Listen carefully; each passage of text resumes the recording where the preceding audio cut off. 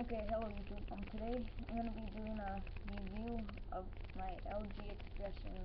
Um, this is a really good phone. It slides, you can text. Most of it's touchscreen. Um, then here it is. It's got a really good camera on it. Um, it's third generation phone. Sorry about my bad review right now. But the bad thing about this is when you get text, um, they don't show the caller ID, which really sucks. And they don't know who sent you a text message. And I just got my phone today. This case says LG back if you can see that. And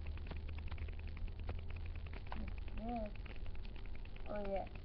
Um, this is how I'll just do that video later. But I'll do a lot of videos about it. The music.